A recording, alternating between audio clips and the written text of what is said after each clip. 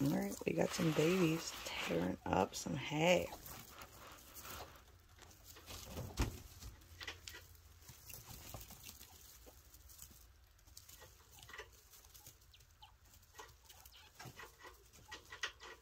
This is Sweetie's babies.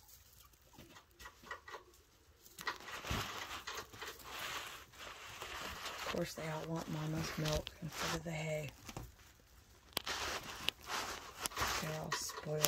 Sweetie has good milk production for four.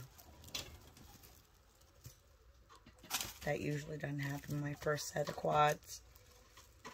Mama didn't have enough milk. But Sweetie is doing a great job.